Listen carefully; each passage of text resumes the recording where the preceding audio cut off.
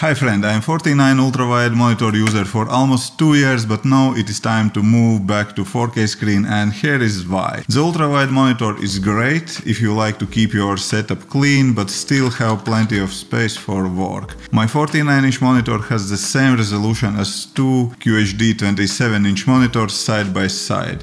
M1 MacBook supports only one monitor and therefore ultrawide monitor is really great companion for that machine. But this monitor is not perfect. There are two main issues with it. Vertical resolution, that is only 1440 pixels. Another problem, that screen is not usable for streaming.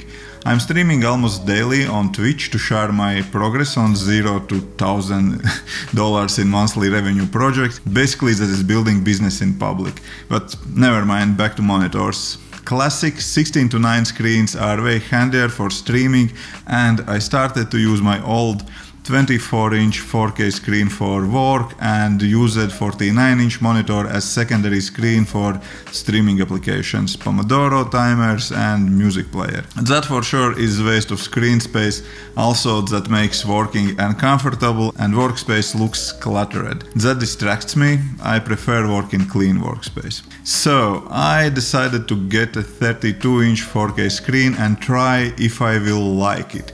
After a quick research, I found that I would like to get an LG Ultrafine Ergo monitor.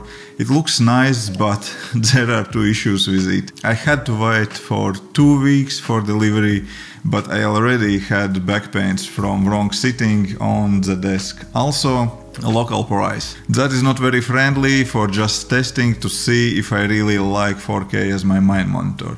The second option was another LG screen which was about the same LCD panel but didn't have USB-C support. I was thinking to get that, but few more clicks later I found Samsung M7 32-inch 4K monitor with USB-C support for just 300 euros. Reviews were okayish and it was available in the shop next to my home, so that was an instant buy option. I didn't have a plan to use the original monitor stand because I have a monitor arm from my 49 inch monitor, so fixed monitor high is not a problem for me.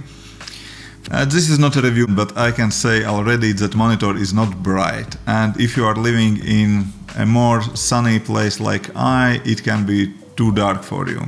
In cloudy and dark Latvia 250 nits are about enough. In my current setup I have 32 inch 4K monitor in the middle as the main monitor M1 MacBook which using it is on the right side from my screen.